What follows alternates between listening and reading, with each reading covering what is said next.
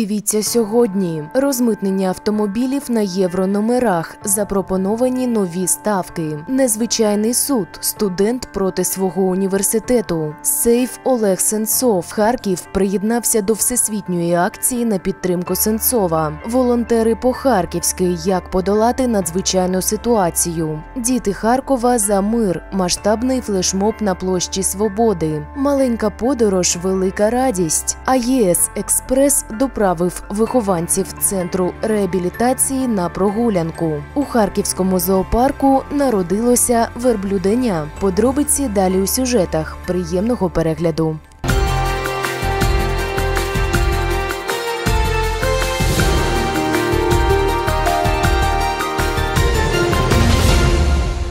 Парламентський комітет з питань податкової та митної політики розглядає можливість зміни ставок для розмитнення автомобілів. Про це повідомила голова комітету Ніна Южаніна. Вона додала, що нові ставки розраховані таким чином, щоб вони захищали країну від екологічної шкоди, якої завдають старі автомобілі. Ставки будуть знижені. Зараз на новий автомобіль з об'ємом двигуна в 1,6 тисяч кубічних сантиметрів акциз становить 427 євро. Віком до 5 років 2629, понад 5 років 3906 євро. За моєю шкалою за новий автомобіль з таким об'ємом двигуна потрібно буде заплатити 150 євро. До 5 років євро 5 300 євро. Автомобілі випуску євро 4 750 євро. Автомобілі випуску євро 3 1500 євро, пояснила Южаніна.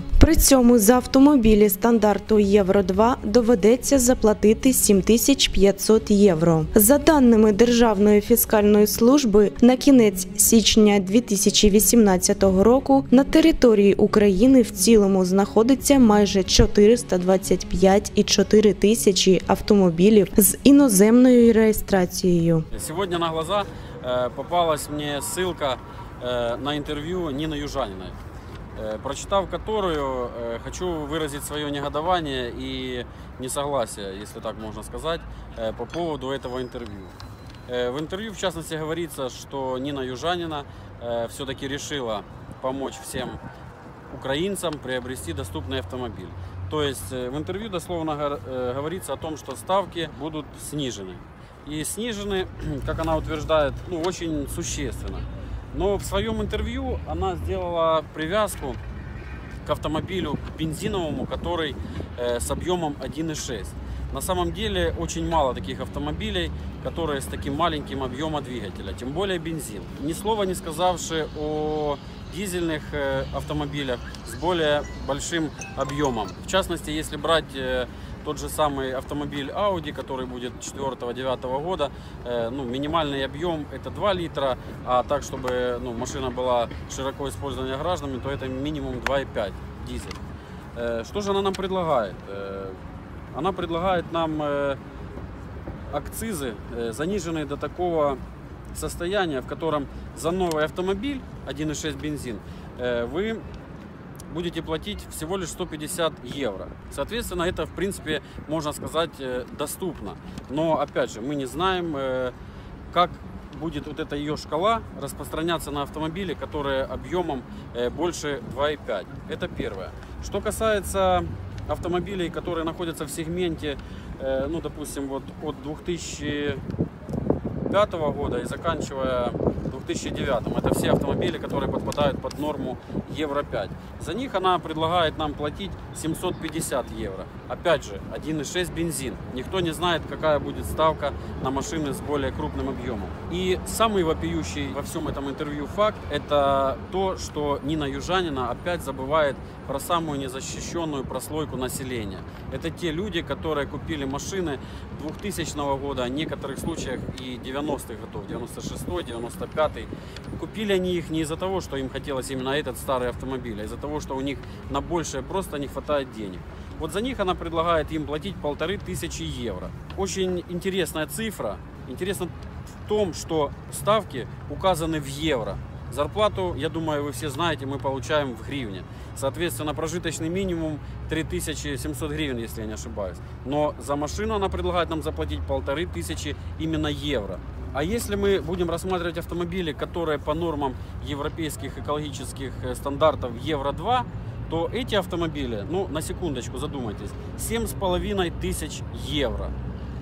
Я думаю, что назвать это геноцидом против народа, э, это практически, ну, я не знаю, мягко комплимент сделать.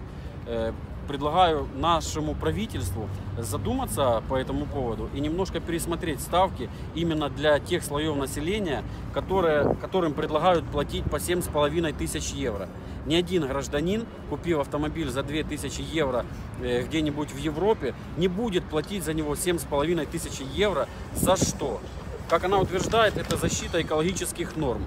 Прежде всего, э, предлагаю Нине Южаниной задуматься о том, каким европейским нормам экологичности соответствуют все машины, которые продаются на территории Украины. В частности, Богданы э, и прочие там маршрутки, и также точно Ланосы, БАДы китайские, СМА, ну и целая куча э, китайских брендов. Шановна Ніна Петрівна, я дуже вас прошу, вийдіть зі свого красивого красного Мерседеса та наближтесь до, ближче до народу.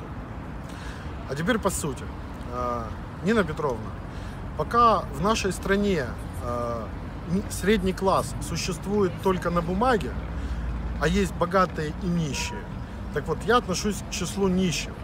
И если я хочу ездить на Гольфе 2 компании Volkswagen, то я не хочу платить за него 7,5 тысяч евро. Это невероятные деньги для украинцев. Посмотрите, например, Японии или Вьетнама, той части, которая была под контролем у Соединенных Штатов Америки.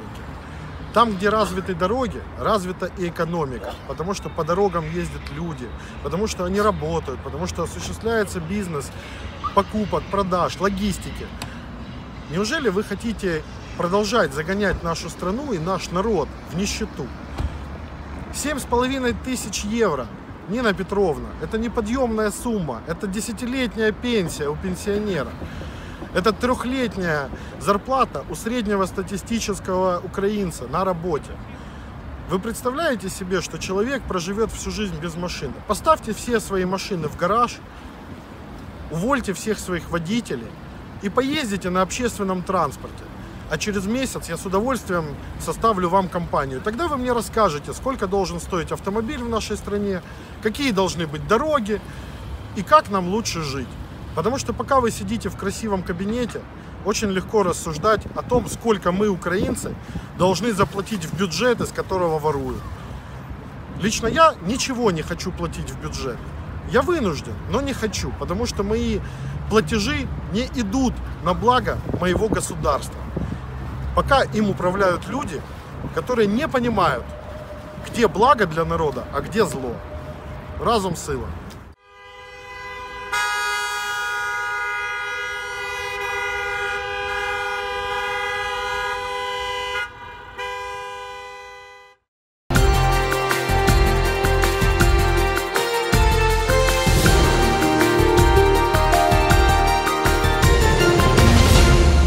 Першого червня у Київському районному суді міста Харкова відбулося чергове судове засідання за позовом Дмитра Браславського, студента НТУ ХПІ, який вбачає в діях свого вишу корупційну складову. Крім цього, інша справа юнака проти ХПІ стосується відмови у поселенні до гуртожитка. Подробиці судового процесу дивіться у нашому сюжеті. С проблемой, касательно которой я обратился в суд, я столкнулся после проживания летом на втором курсе в общежитии.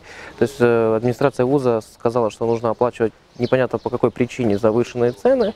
Я пытался сначала путем диалога решить этот вопрос. Э, Сказали, мы тебя не поселим, если ты не заплатишь все, что нужно. Мне пришлось доплатить, обратился с э, запросами, обращениями в Министерство образования. Министерство образования дало четкий ответ касательно этой, вот, э, вот этой оплаты по общежитию, что это незаконно и так не должно быть.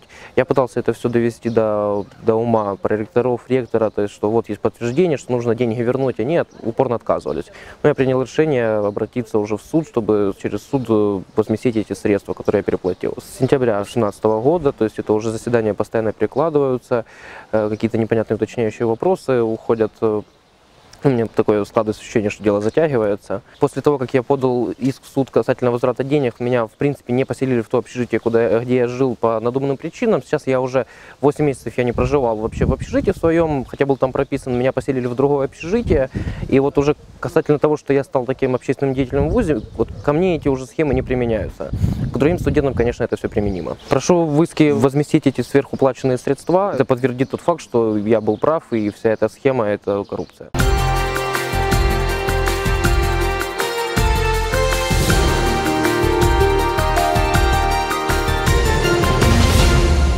Другого червня харків'яни знов підтримали акцію, присвячену українським політв'язням, які знаходяться в російських виправних колоніях. Наразі близько 70 осіб позбавлені волі за межами України. Активісти назвали їх поіменно та запевнили присутніх, що лише таким чином можна допомогти знедоленим землякам. Подробиці далі в сюжеті.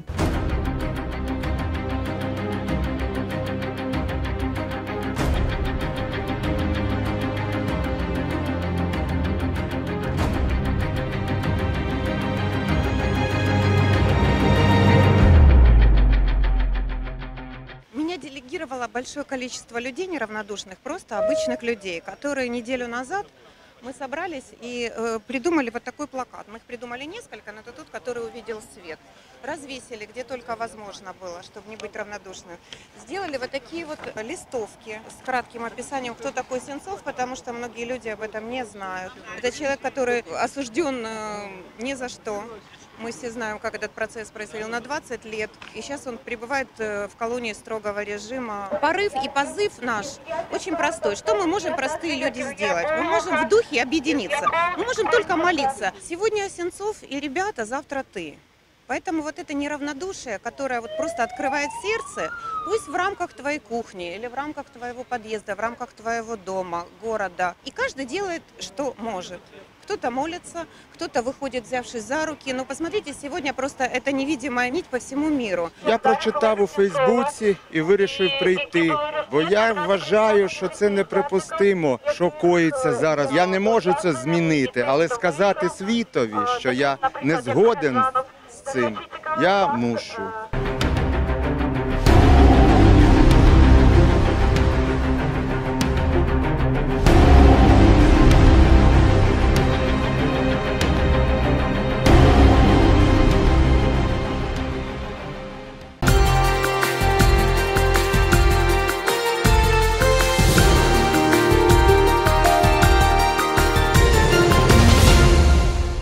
Червня у Харкові відбувся четвертий обласний зліт волонтерів Харківщини Волонтер 21 Учасниками заходу були майже 200 волонтерів вищих та загальноосвітніх навчальних закладів нашого міста. Квест-гра проходила на різних локаціях: навчальна, пожежно-рятувальна частина, прес-центр, піротехніка, медичний центр, водна підготовка, висотна підготовка тощо.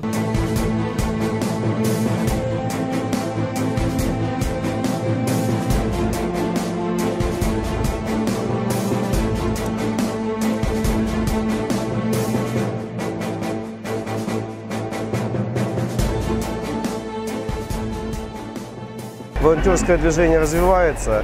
И на самом деле еще несколько лет назад было тяжело представить, что у нас будут реально живые волонтеры, да, которые будут совершать полезные дела. В каждом цивилизованном обществе должно быть волонтерство. Шановні колеги, нам очень приятно, что мы сегодня проводим такое мероприятие для всей молодежи Харьковщины. Это своего рода и профориентационная работа, и то, что сегодня ребята участвуют в соревнованиях, независимо от того, кто займет какое место. Самое главное – дружба, коллективизм. И еще раз подтверждение того, что наш Харьковский университетский консорциум очень мощный и единственный в Украине. И это очень радует. Кожен захід проводиться на базі одного з вищих навчальних закладів, який готує захисників держави. Це військові, це Національна гвардія, це університет внутрішніх справ. А сьогодні ми проводимо змагання, і це свято для нас на території Національного університету цивільного захисту. Кожен раз це нові змагання, кожен раз частково нові команди. До нас приєднуються вже другий рік поспіль шкільні команди. Ідея була проведення саме для волонтерських загонів. Але сьогодні ми прийняли в свої змагання і наших школярів, майбутніх студентів.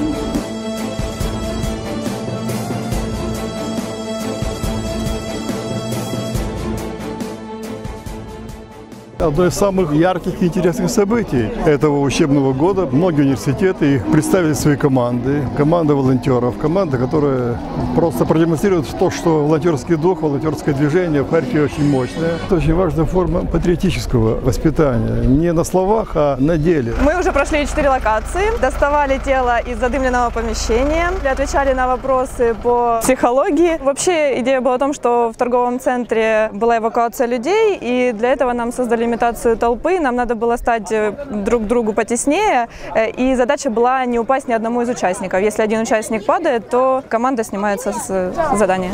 Волонтерство – это доброе дело.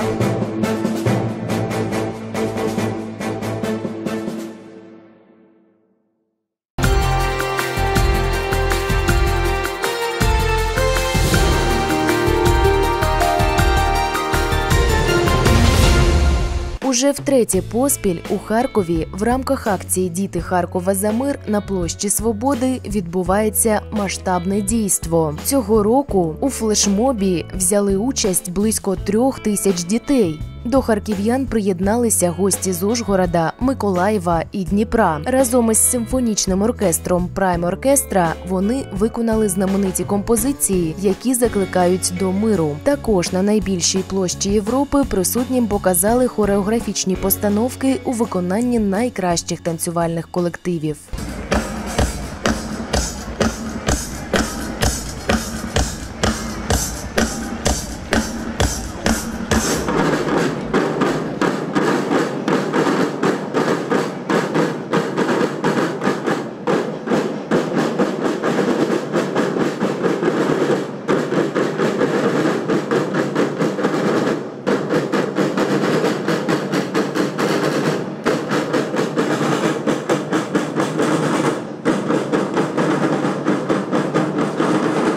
Нужен мир над головой.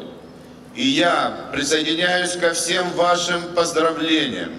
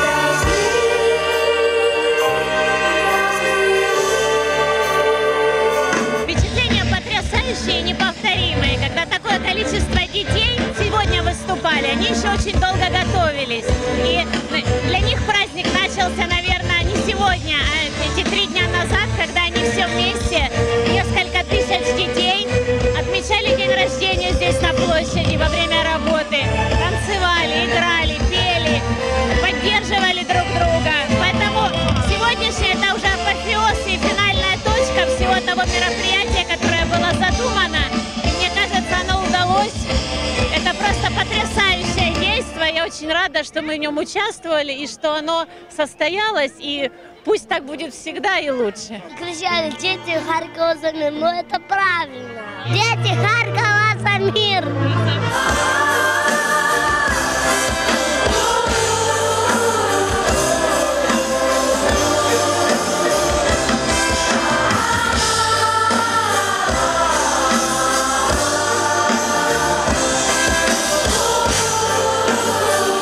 Хороший праздник был, было очень весело, все понравилось нам.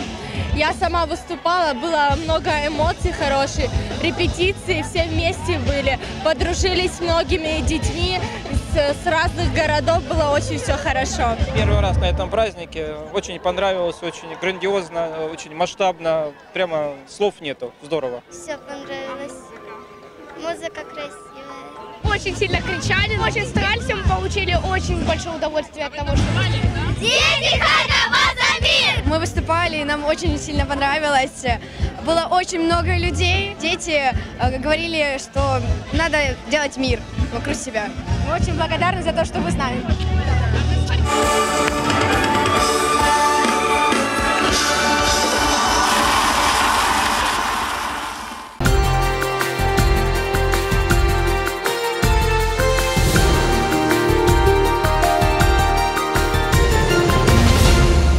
Харківські волонтери спільними зусиллями підготували цікаву розважальну програму для вихованців Центру соціально-психологічної реабілітації. Дітлахи мали розважитися в парку перемоги, поїсти смаколиків, а також власноруч зробити піцу в одному з відомих закладів харчування. Харківське представництво автоєвросили в якості допомоги надало транспортні послуги та щире спілкування. За словами голови АЄС Харків Романа Старченко, таке спілкування є дуже важливим для подальшої соціалізації вихованців центру та приносить обопільне задоволення. Мы всегда с огромным удовольствием э, откликаемся на любое предложение, э, если это предложение в интересах наших детей. У нас сегодня обширная программа. а В Парке Победы дети будут э, качаться, кататься на качелях-каруселях. Также их покормят в ресторане. Будет мастер-класс по приготовлению пиццы. На данный момент 28 деток. Дети у нас самые замечательные. Возраст от 3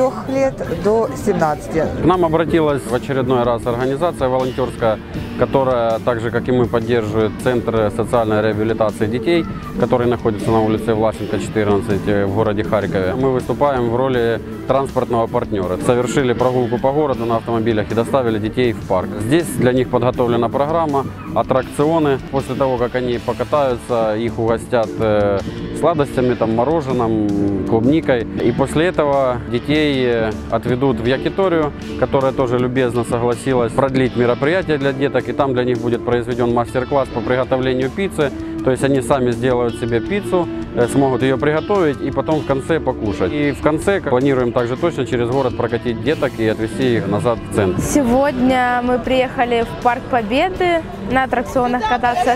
Сообщили вчера, когда мы показывали представление на 1 июня. Они очень рады, что покатаются на аттракционах, посмотрят, Сейчас давайте что здесь вообще есть. да. Это важно для будущей жизни детей, чтобы они были развиты уже и могли выйти в люди. Когда детей рассаживать по автомобилям и дети непосредственно контактируют с водителем и едут на автомобиле, они понимают, что это как э, ну, то, что им не хватает. Необычная процедура, это то, что э, есть у каждого ребенка, у которого есть родители. У этих детей такого нету. И им очень важно вот, чувствовать себя как будто бы, ну, вот, можно сказать, как дома. То есть они едут как будто бы с папой на машине, э, поэтому они всегда очень рады. Для них это даже сама поездка является праздником и очень нравится им именно ездить на легковых гражданских автомобилях, а не просто в маршрутке, где скучно и неинтересно. –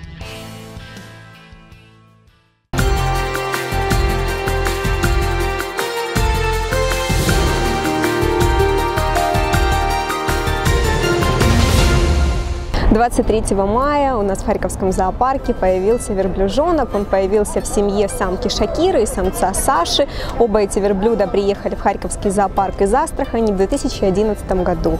Роды прошли легко, как полагается. Малыш родился с весом 40 килограмм, рост его 90 сантиметров. И буквально через несколько часов после рождения малыш уже следовал за матерью, что делает и по сей день неотступно. Мама и малыш чувствуют э, себя замечательно. Основным кормом для малыша сейчас является, конечно же, молоко матери. И у верблюда вот такое вскармливание, оно продолжается от 6 до 18 месяцев. И начиная с э, где-то полуторамесячного возраста верблюжонок уже начнет э, по- потихоньку пощипывать травку и постепенно приобщаться ко взрослому корму верблюда. Конечно, как и любой малыш, он проявляет э, такую любознательность и пытливость, но все-таки от мамы он не отходит ни на шаг, и мама а, тоже о нем заботится. Вообще вот для верблюдов очень характерно проявление родительской заботы, и своих чад они опекают вплоть до достижения половой зрелости. У самцов это возраст 5 лет, у самок 3 лет, поэтому наш малыш может рассчитывать на то, что мама будет его опекать вплоть до достижения пятилетнего возраста.